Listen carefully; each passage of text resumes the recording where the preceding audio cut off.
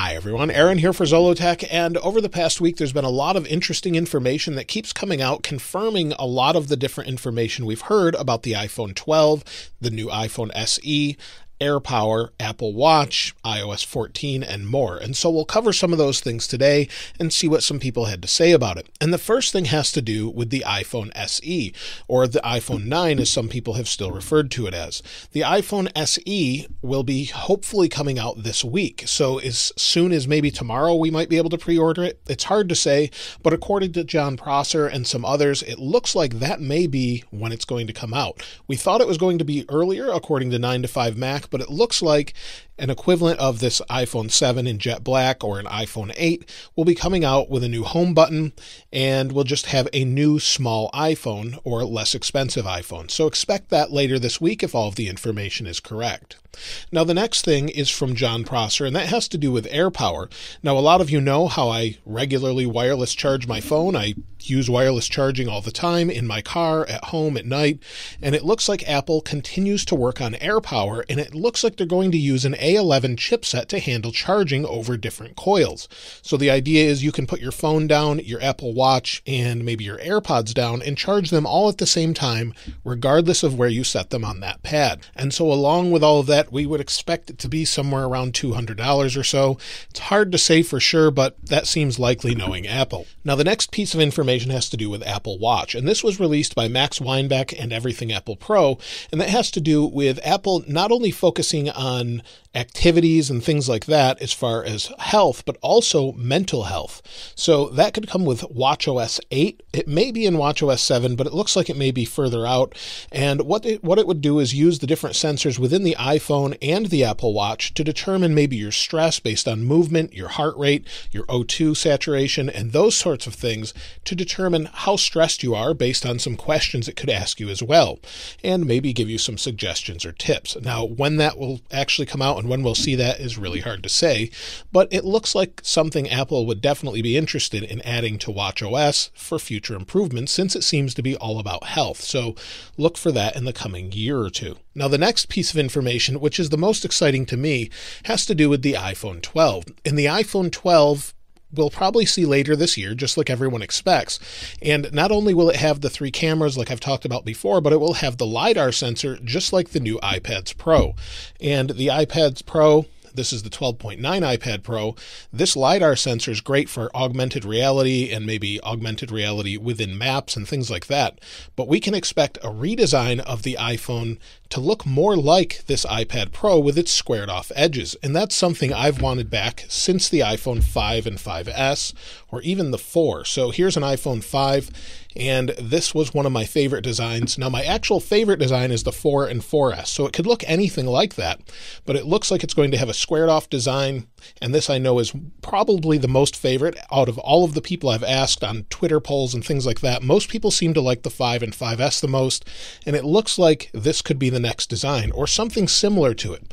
So we would have the large size as well, up to 6.7 inches, and have four different variants of the next iPhone 12. Now, a lot of that information about the iPhone 12 came out last week as far as the four different size variants from Jon Prosser, but this week, Mark Gurman at Bloomberg has said not only will it have four different variants, but it will also include 5G, like we expected, and Apple is working on a smaller notch. So, for those of you that really do not like the notch at all, it looks like they're going to be either making it smaller or trying to totally eliminate it over the next year or two. So, whether or not the iPhone 12 has a smaller notch is hard to say, but knowing Apple, they probably will try and make it smaller and smaller until it doesn't exist anymore.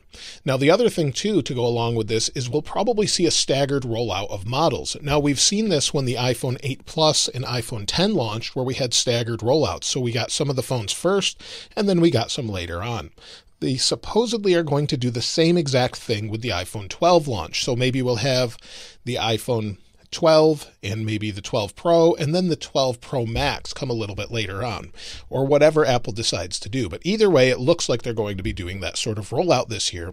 And given everything going on, that seems to make a lot of sense. Now, as we get closer to the actual release of the iPhone 12 later this fall or autumn, we should see prototype units made for case makers, just like this one. This is one of the prototype units that it doesn't work or anything, but it gave us an idea of size and what the iPhone 11 Pro Max would look like. So They sort of got it right, except the way the camera module looks, but it gives you the general idea of size. I would expect the exact same thing with the iPhone 12. One other piece of information that came from Mark Gurman has to do with the HomePod. It looks like Apple may be working on a smaller variant that would be less expensive and would complement what you might already have as far as a HomePod, but just maybe be a HomePod Mini or something along those lines.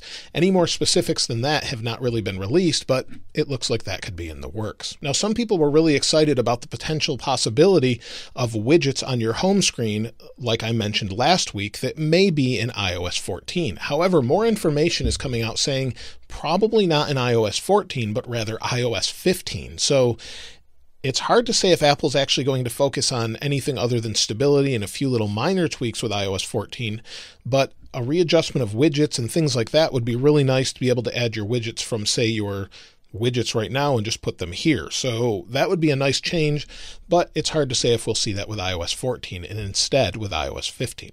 And then finally, we're still waiting for that upcoming 13 inch MacBook Pro replacement. This is the current 13 inch with its butterfly keys, and a lot of people don't like that, along with the older style Touch ID and Touch Bar and things like that.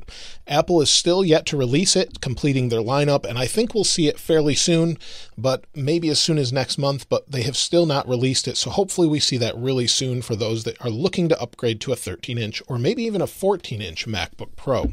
And that is really it for information this week. Now, every week, by the end of the week, there's more and more information leaked. And I know a lot of you want to know is iOS 13.4.5 Beta 2 coming out tomorrow or later this week? And I would say at this point, it's hard to say whether or not it'll be a beta or a final release, since within the code of that version is actually mention of the iPhone SE or a new iPhone with a home button. So it's possible they could just push it out to the public since they never did a public beta, but it's to say and we'll only know as time goes on. Now that's it for this week's information, and as more information comes in, of course, I'll keep you updated with that as well. If you'd like to get your hands on this wallpaper, of course, I'll link it in the description as I always do. And if you haven't subscribed already, please subscribe. And if you enjoyed the video, please give it a like.